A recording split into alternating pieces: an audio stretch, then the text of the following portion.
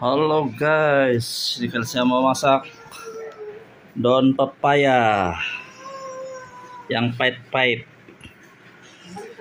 Pahit-pahit. Nah ini daun pepaya ada dua, ah tiga, tiga sorry tiga.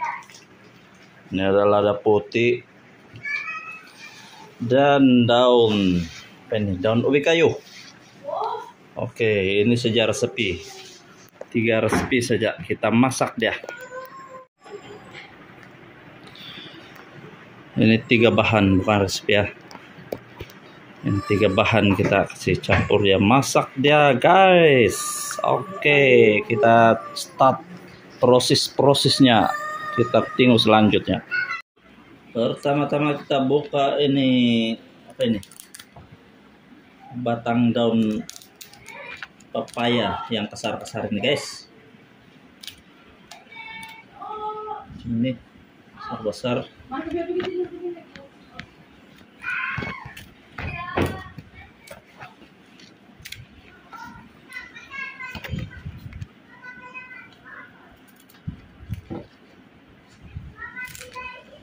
Ini ala lada.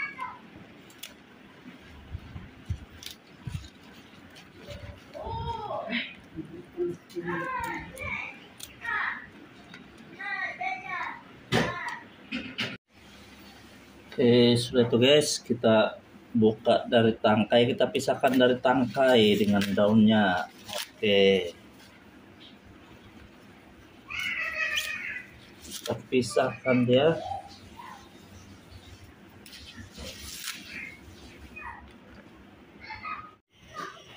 Oke guys, lepas kita pisahkan dari batangnya, kita cuci.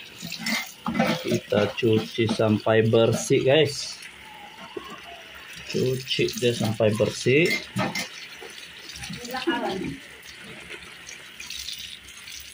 Cuci dia bersih-bersih guys.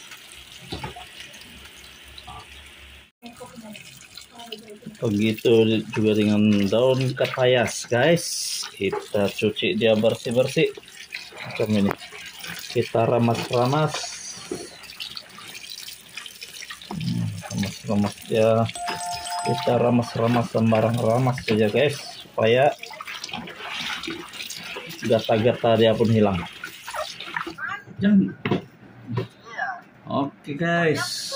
Selepas itu kita potong-potong halus-halus halus-halus seperti ini seperti ini betul betul nih seperti ini oke oke guys setelah kita cuci kita iris eh kita potong-potong halus ini apa? Daun ubi kayu sama daun kapayas beginilah keadaan dia. Dan kita campurin dengan lada padi. Eh lada padi pula. Lada putih lada putih lada putih. Jadi ini proses pemasakan sudah sekarang nih. Sudah cuci bersih-bersih ya guys. Jadi sekarang proses pemasakan. Oke, kita tunggu dan lihat. Bawang putih pun sudah ready guys. Bawang putih pun sudah sedia untuk dimasak. Ini juga ikan bilis ada. Ikan bilis halus, ikan bilis manis. Nah, ini kita campurkan sekali nanti. Oke. Seterusnya kita kasih panas kualinya. Kasih panas kuali. Dengan api yang sederhana, jangan membakar diri dan membakar rumah. Nanti hilang tempat tinggal. Oke guys, ini macam. Selepas itu kita cari minyak makan, bukan minyak diselah, minyak makan. Bukan minyak apa minyak minyak petrol. Nanti marah kita punya dapur ini dia minyak makan kita apa guys kita pakai dan mungkin kita kasih lebih tapi jangan kita kasih tumpasan sampai 2 liter. Cukup untuk kurang lebih dalam sukatan satu gelas. Ataupun dalam 300 ml. Begitu. Dan ini daun-daun kayu kayan pun sudah sedia. Daun ubi kayu. Daun apa apa nih lupa. Inilah ini kalau sudah tua. Mudah lupa. Upaya. kepayas kepayas daun kepayas sudah campur sedia guys. Sudah campur sedia oke guys. Nampaknya minyak goreng yang kita tuang tadi sudah mendidih sudah panas kuning kuningan di atas periuk yang bersih. Yang kamu sendiri. Sering-seringnya ada hitam-hitam. Biarpun sudah dibersih dibilas dengan apa tapi masih juga tetap hitam. Inilah dinamakan kuali oke kita ambil bawang yang sudah dipotong halus nipis-nipis. Kita masukkan dalam minyak yang mendidih. Dia pun mendidih sampai kering. Kita tunggu dia sampai kering. Oke sudah mengeluarkan bau wangi yang semerbak mewangi sehingga seluruh rumah pun tercium. Kita masukkan ikan bilis yang sudah mati. Oke. Wih, masih hidup kan ikan bilis ini oke. kita masukkan. Kita gaur-gaur seperti ini. Seperti apa itu? Mengeluh tahu kah? Oke selepas itu kita kicikkan air sekecil-kecilnya eh. kita pusing sampai di bawah. Oh, ini menunjukkan paling kecil dan apinya pun seperti ini guys. Oke. Agak-agak sudah garing sudah kuning. Ini ikan bilisnya kita tunggu dulu. Seperti ini sudah ah, skip sedikit sedikit menit lagi. Gaur gaur gaur gaur. Sampai teraduk rata. Kemaringan minyak dan bawang yang sudah mengering. Kita masukkan lada putih guys. Lada putih guys. Masukkan lada putih. Ini yang paling bahaya nih guys. Lada putih. Kalau lada putih yang padas memang kita balik-balik aci aci aci aci memanggil nama aci oke ini dia. Kita biarkan dia sampai mengering sedikit-sedikit jangan terlampau kering. Asal dia sudah licak dan kekuning-kuningan sedikit. Ah boleh sudah lah itu oke guys selepas kita masak dengan minyak ini lada putih ikan bilis sama bawang tadi tuh nampaknya sudah menguning kita terjunkan. Ini daun kayu kayan yang kita tanam sendiri. Nah, daun ubi kayu sama daun kapayas. Nah, kita boleh tinggal di sini satu periuk sebelum dimasak. Nanti sudah dimasak tinggal satu pinggan. Ini tanpa air, kita masak tanpa air guys, tanpa air kita gaur-gaur seperti kita pusing-pusingkan kita gaur-gaur dia seperti gasing-gasing berpusing. Nah ini minyak. Kalau minyak tidak cukup kita tambahkan lagi guys. Biarkan minyak yang memasakkan ini daun-daun. Tapi jangan kita tambah air. Sebab ini daun-daun ini sudah mengandungi air sedia.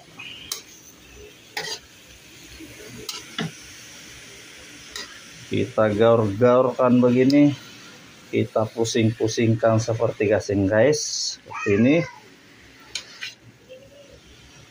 Dan kita besarkan api sedikit-sedikit. Oke. Supaya daun-daun apa yang daun-daun ubi kayu sama ini papayas si kejap masak. Sekejap panas dan masak oke gaur gaur gaur gaur, mesti rajin mau gaur guys, supaya dia tidak melekat, tidak mengering.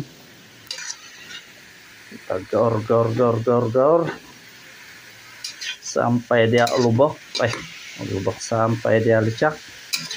Nah, tadi satu periuk sekarang guys. Tinggal berapa apa lagi nih? Tinggal satu piring lagi nih guys. Tidak tahu cukup untuk saya satu rangka tidak ini guys.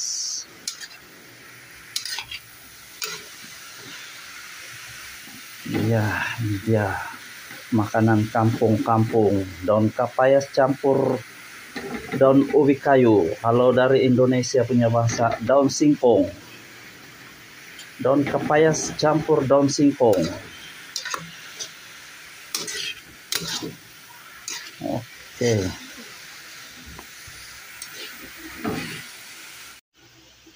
oke. Guys sudah tiba masanya untuk kita mengadukan rasa-rasa rasa daun singkong rasa pepaya dan kita tambah rasa cukup rasa guys.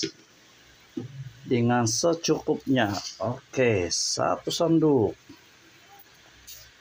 dua senduk, mungkin tidak tiga sudut. Wih, tiga sudut setengah. Oke. Kita cari pengasihnya lagi guys. Ini dia cukup rasa tidak begitu cukup ya guys habis dia seperti ajinomoto itu jadi kita tambahkan ini garam halus. Garam halus yang berayodin supaya tidak bangkak kita punya apa? Kita tidak bangkak kita punya leher. Ah ini dia. Kasih asin sedikit guys. Ah, begitu guys.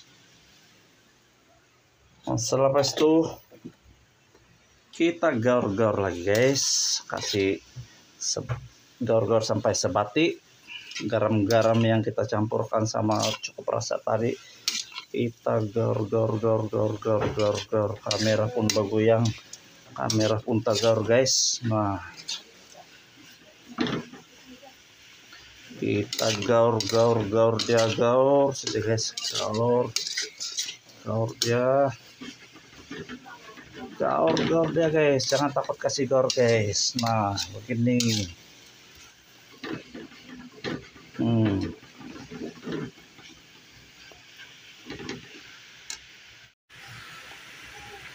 Oke guys, tadi kita sudah tambah garam, perisa, cukup perisa.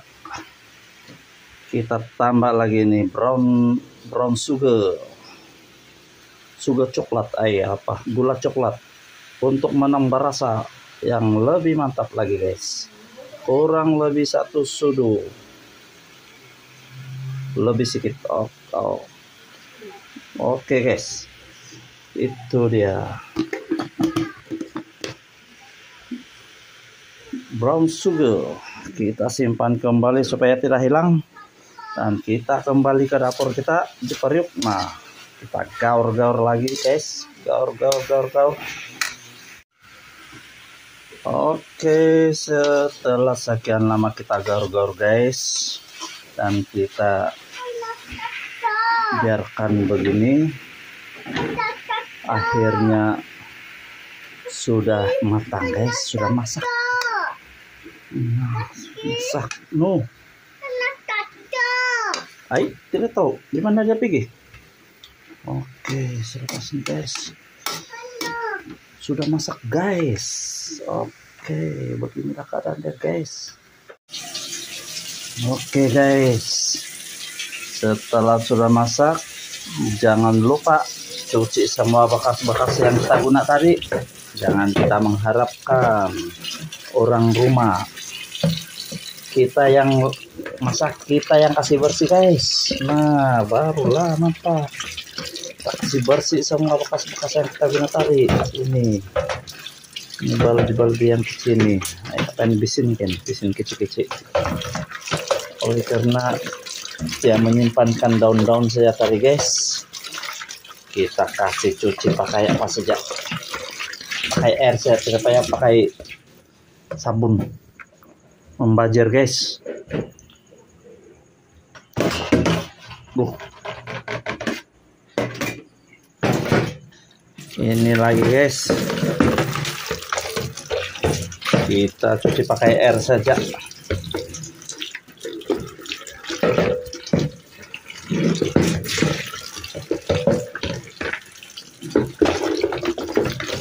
mesti kita cuci selepas menggunakan guys supaya kita punya dapur tidak semak. Biarpun dapur yang sempit-sempit begini gitu guys supaya dia nampak tidak semak. Oke okay, guys. Daun-daunan ubi kayu sama itu pepaya sudah menjadi masak makanan nah ini dia sudah masak guys mantap guys sekarang masa mau makan sudah guys Nah, mesti ada lada guys. Kalau tidak tidak jadi itu makan. Ini juga lada guys. Tapi kalau saya saya lebih suka makan lada yang satu biji satu biji. Aha, begitu. Oke. Makan dulu guys.